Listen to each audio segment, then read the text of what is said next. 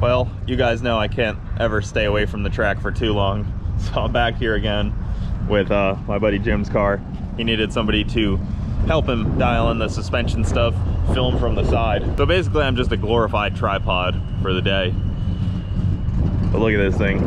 He did everything on it and it is so freaking clean. This thing makes like 1800, 2500 horsepower-ish, something like that. Seven second car. And I have to run him this weekend potentially. Sick. So I'm helping my competition here. But look at how nice this car is. Really makes me want to do a Coyote. Not a Mustang, but a Coyote. Car's so sick. All right, so we're gonna get some starting line footage for him, see what his suspension does. He did a couple bar changes and he's adding a little more power to it. See what she does out the hole. The DA is significantly better than when I raced the other day.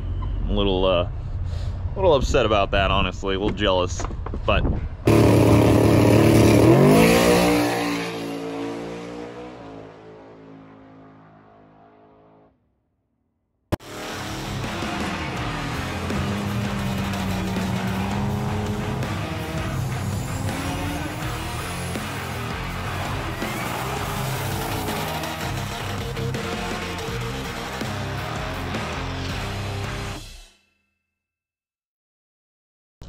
It is a cold morning out here in Florida.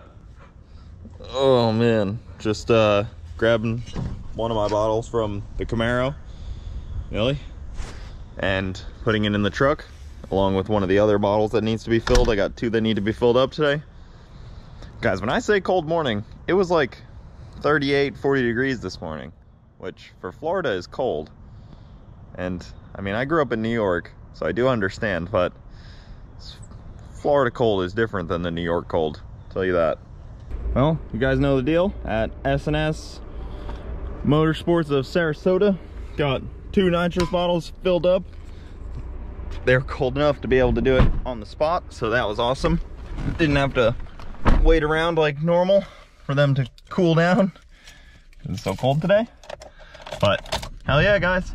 Filled up, ready for this weekend. I'm gonna go test the bump box and the trans brake because they've been acting a little funny. Mainly just the bump box. So I'm gonna go test that out, see if we can uh, get that to be a little more cooperative because it's been a little weird lately. Definitely need that for heads up racing. All right, I'll see you guys at the house when I'm on the trans brake. My neighbors are gonna love it.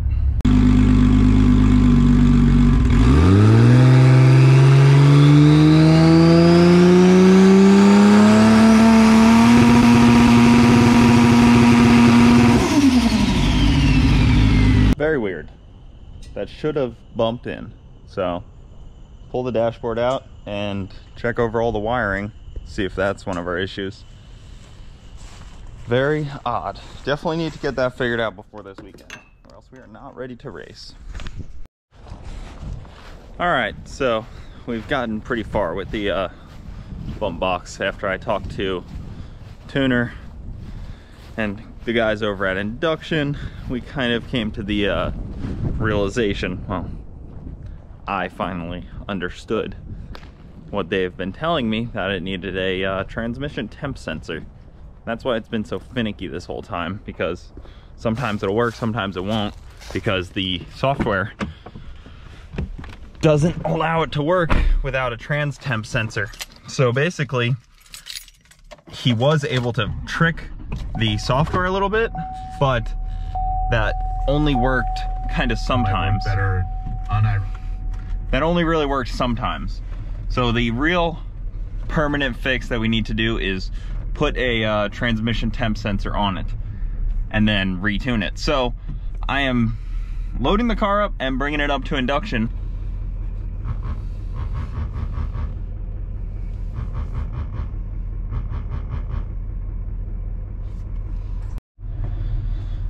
All right, well, I just dropped off the Camaro with Induction Performance. They are going to uh, look over the tune a little bit and see if we can get the bump box thing figured out.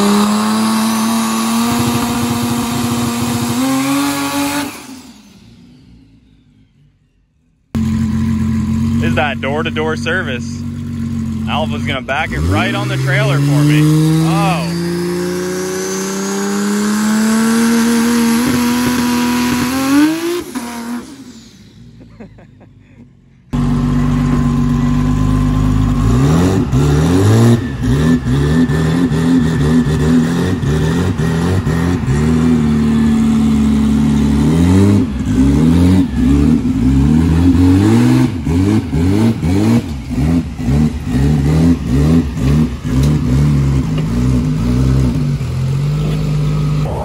Well guys, tough break. I just um, was coming back from induction performance. We've been screwing my trans brake button and stuff and bump box. And check it out. I'm on the side of the road here and look at that. Flat tire. I can see where the air is coming out of over here. Well, trying to uh, take these off on the side of the road here, just bent it. So those are on way tighter than I can get them off with this guy course, the one time I don't have my impact with me. Oh man. So I need to put the spare on, but I don't have an impact that'll get this off. And this guy just bent. Be cool if one of those road rangers showed up.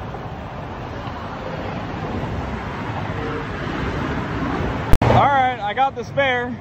Now it's time to try to get that tire off. I thankfully have people close by and I think one of them is coming with an impact because this guy is just bending. Useless. So I'll get it jacked up and then we can get that off. Either a breaker bar or an impact, something stronger than that. Well, Ty came with the right tools that I needed. Thank goodness, because I would have been sitting here till like a road ranger or something showed up. Dude, at least it only happened 10 minutes from the shop, too. Yeah, and if it happened on the Skyway, yeah, RIP. Yeah. I might as well just driven off. But got the spare on and we are back on the road. Off to freaking the race. Dude, thank you so much. Guys, we are on the road. Heck yeah. Huge thanks to Ty for coming because the stuff I had didn't work, of course. Like, who would have thought that that would have just broke?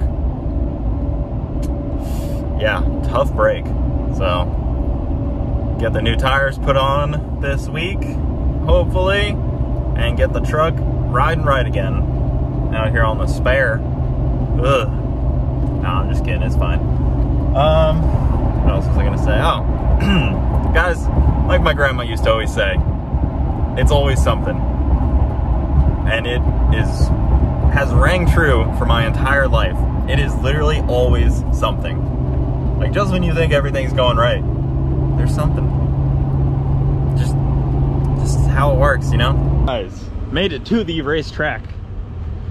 Freaking, it's been a day. It's been a day. Day is nowhere near over yet. It kind of feels like it just started.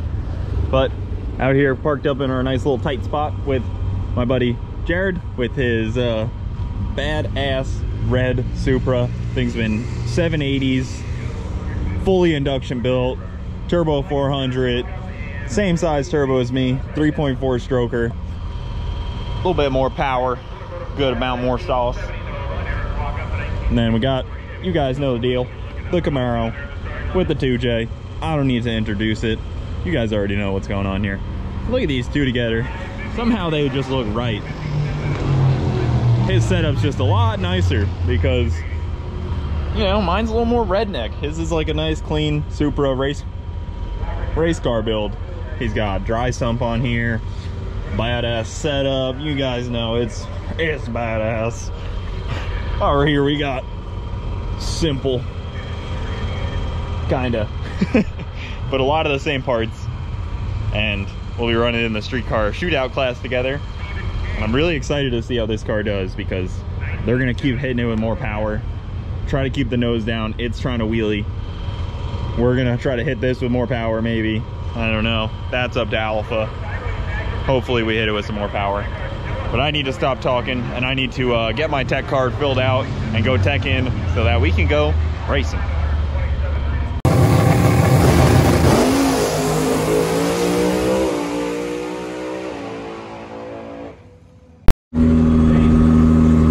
Heading up to go check in?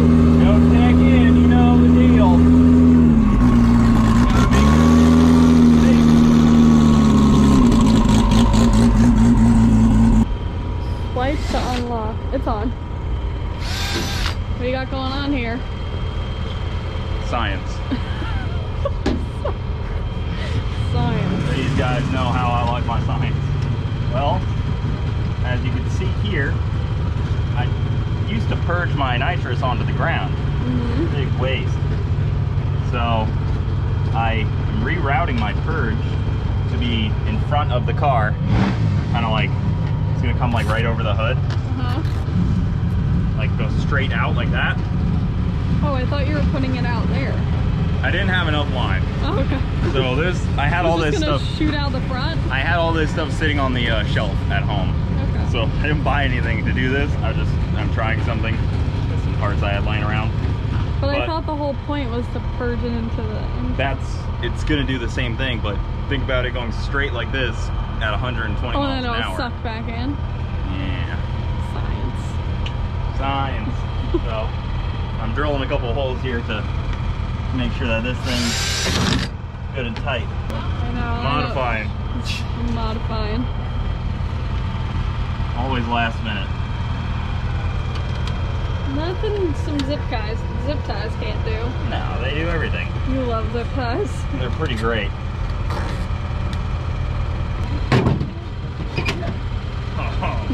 See that? A zip tie here. Yeah. Sticking out right there. It's pinned pretty good. Should we test yeah. it? yeah, try it out. Give it a try. Alright. Yeah, probably just for it to get wet again. Alright, try the new purge. Oh, can you come with mine then too? Yeah, Off the tire? pretty good to see mine. Whoa! Ah, I like it! Wait, do it again. That's cool. I like it. Well, we've never had to purge mine down last night, and last night I had to purge it like 200 pounds, and I didn't know it comes out on the freaking Yeah, right, right on, on the, the tire. tire. I was saw like, that oh, the other day. great. Cooper, you better get to work on his So now. my concept behind this is to try to get it to go in the intake if I need it going down track. I like it. So it's basically a scramble button. So you're hoping it'll like spray on and shoot right in there? Well, I mean, imagine a 100 mile an hour air Yeah, it's and not. the turbo I mean, but that's sucking in at 50 pounds of boost. thought uh, I had Nan on me. That seemed pretty like strong though that it shoots out. But Alpha didn't want me to go too close. yeah, He, this is kind of new territory for all of us. trying something new. Yeah, it came from my mind that maybe this will work. It's like a second kit of nitrous. This Yeah. could be a huge idea.